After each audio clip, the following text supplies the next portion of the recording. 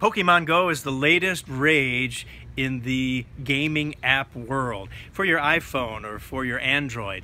It works, it, it's an augmented reality game. So I'm standing outside the home office of the United Church of God because this is one of the geolocations that are actually used in the game. So they use the rock they use the building uh, as a gym in this game, this augmented reality game. Now, I had to look that phrase up because I'd never heard of augmented reality before.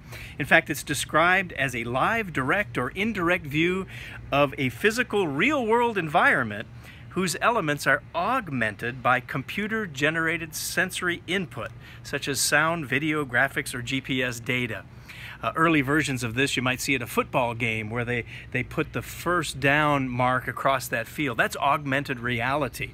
Well, Pokemon Go uses little creatures in the real world. And so it's supposed to get kids out to play and walk and, and exercise out of the house. Now, the interesting part of this is they say that the AR, the augmented reality, enhances your perception of reality. But let me tell you something that really enhances your perception of reality. It's the reality of the spirit world. Now, you don't see the spirit world. Just like people that aren't playing Pokemon Go can't really understand why these people are, are walking around with their phones looking at these uh, pretend little creatures that are embedded, I guess, in reality. The spirit world is real. In fact, there's a section of scripture where Elisha the prophet showed the reality of that spirit world. Uh, 2 Kings 6 is where you'll find that. Uh, verse 16, here we find Elisha facing the armies of the enemies.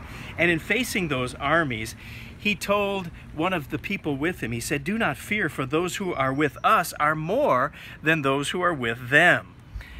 What was he talking about? Well, he's talking about the spirit world. So Elisha prayed, verse 17, and he said, Lord, I pray, open his eyes that he may see.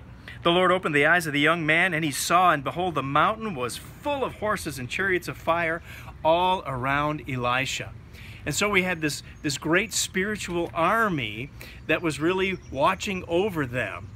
And you know, we are surrounded by the spirit world, even though most people are walking around in this life unaware, just like those that aren't playing Pokemon Go are, are, are unaware of what that game is all about. But the spirit world is real.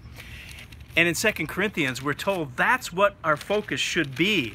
If you really want the real reality, look to the spirit world, look to God. In Second Corinthians chapter 4, it tells us that very thing. This is in verse 18. He says that as Christians, we do not look at the things which are seen, but at the things which are not seen. For the things which are seen are temporary, but the things which are not seen are eternal. So let's not just augment reality, let's look at the actual reality of the spirit world that God wants us ultimately to be a part of. That's BT Daily. We'll see you next time.